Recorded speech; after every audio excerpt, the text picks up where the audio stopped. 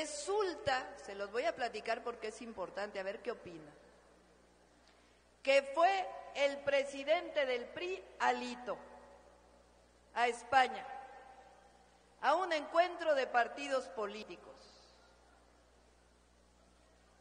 Y Alito se presenta con el presidente de España y quién sabe qué le dice. ¿A poco ustedes le creen a Alito? Personaje de la política mexicana. Y entonces el presidente de España dice públicamente que está muy preocupado por las elecciones en México, que porque no van a ser elecciones libres, democráticas, que está muy preocupado por la violencia en el país.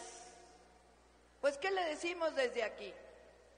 Pues el principio juarista entre las personas como entre las naciones, el respeto al derecho ajeno es la paz. Nosotros somos los que hemos luchado históricamente por la democracia.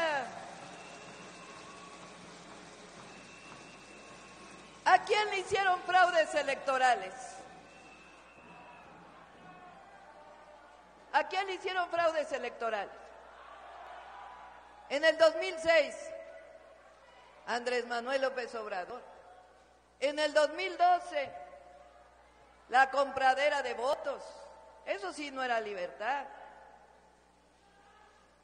Nosotros lo que queremos es bienestar, democracia y libertad para el pueblo de México. Esa es nuestra lucha de siempre.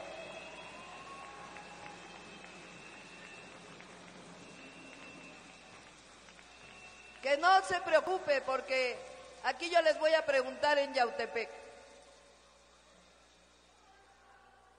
¿Cómo vamos a ir a votar el 2 de junio?